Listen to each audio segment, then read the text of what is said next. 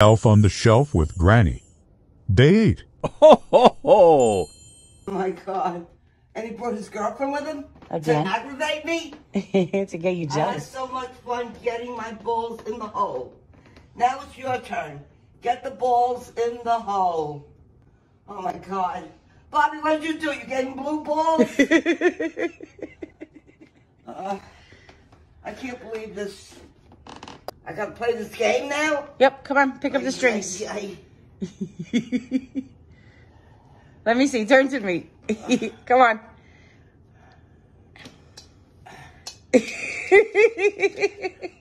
Come on, blue balls. You're giving me blue palpitations. What did you do to her hair? I just realized that. Oh, she really had fun with you. Oh, she teased you all night, right? Is that why you have that blue thing between your legs? Ah. oh, yeah, yeah. I can't get it in. Ugh.